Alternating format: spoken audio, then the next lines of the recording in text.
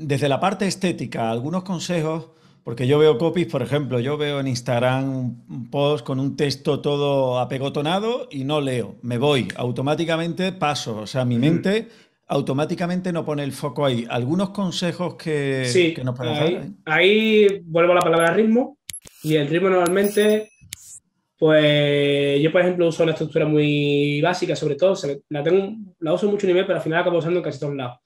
Eh, empiezo con una frase corta para enganchar la atención, intento que esa frase sea potente, hay veces que quiero que no que quiero, o sea, pongo algo exclamativo, hay veces que a lo mejor puedo usar algo más eh, generando expectación, hay veces que hago un juego de palabras, según lo que vea.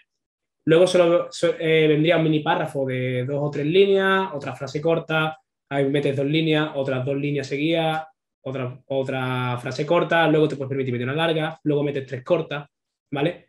O metes una, una línea pero con tres frases, ¿sabes? Vas jugando con el ritmo siempre. Yo recomiendo, por lo general, muy por lo general, no pasar de, de, dos de tres líneas de ordenador en una cuatro, porque luego se convierte en el doble en un, mobile, en un móvil. Y si, y si es 100% para móvil, intenta que no pase de las tres líneas, cuatro o mucho, ya te empieza a marear. Hay veces que va a quedar estructura un poco rara de primera, que no sea tan fácil de ver, pero eh, facilita la lectura. Entonces hay que, hay que acostumbrarse a ello.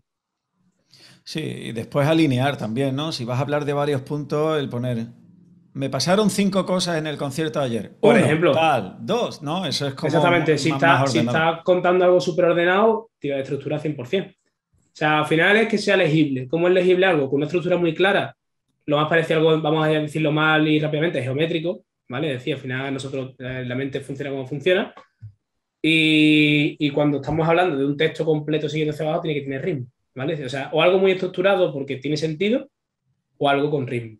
Pero hacer un tochaco de. Me pasaron, como dice, no, me pasaron cinco cosas, y pones uno, tal, y dos y tal. O sea, si, parece, si se parece más a una editorial de un periódico que tiene dos párrafos y tiene 900 palabras, no vale para esto.